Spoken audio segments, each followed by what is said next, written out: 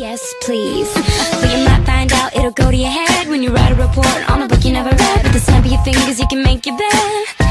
That's what I. Hey, yeah.